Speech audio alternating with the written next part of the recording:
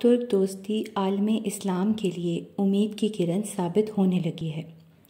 इमरान खान के हालिया तुर्की के दौरे, सदर तैयब अर्दगान से दोस्ती के चर्चे और फिर अकवाम मुतहदा की जनरल असम्बली में तुर्क सदर की गैर मशरूत पाकिस्तान और तुर्की के लिए हमायत। ये सब गैर मामूली वाक़ात हैं जिन्होंने मुस्लिम मुखालिफ दुनिया के लिए ख़तरे की घंटी बजा दी है।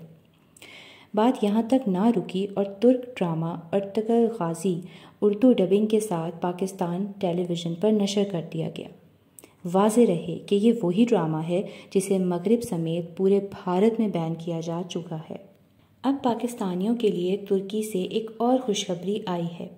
पाकिस्तान के बहरी दिफा को नाकबिल तस्खीर बनाने के लिए तुर्की सख्ता जंगी बहरी जहाज़ पाकिस्तान के साहिल और तजारत का दिफा करेंगे।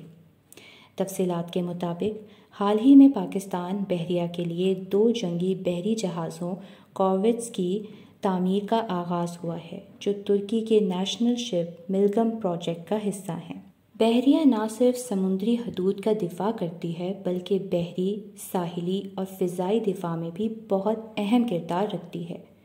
यही वजह है, पाकिस्तान अपने तहफ़ व सालमियत के लिए बहरिया की ताकत में इजाफ़ा कर रहा है।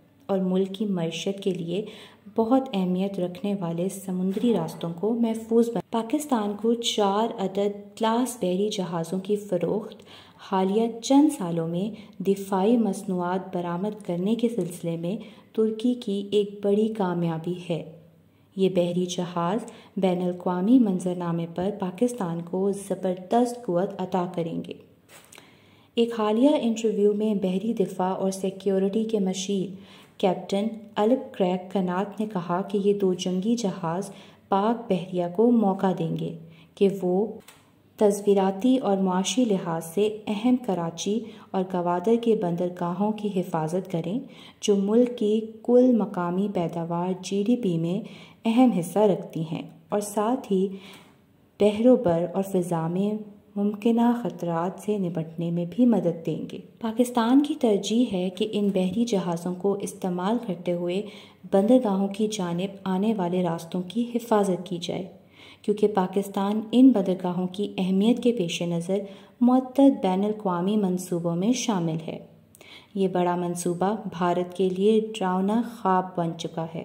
पाकिस्तान जिंदाबाद।